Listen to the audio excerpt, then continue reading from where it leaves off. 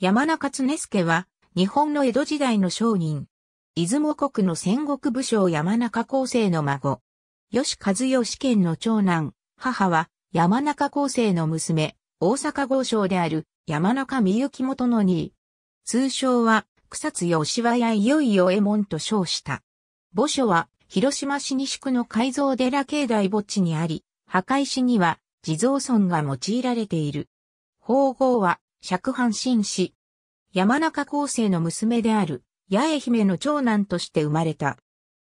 山中家の始祖である父の吉和孫左衛門は出世して草津村の長者となり、当時は草津の幸福稲荷社周辺に広大な屋敷を構えていたため、現在も草津の幸福稲荷社に設置されている案内板に、かつては草津村の長者であった吉和や所有の稲荷社であったと記されてあり、当時の山中家の富豪ぶりを忍ぶことができる。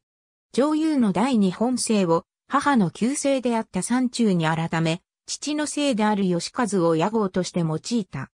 山中家の屋敷内にて酒造業を営み成功した。女優の没後は、長男の山中常久が家督を相続した。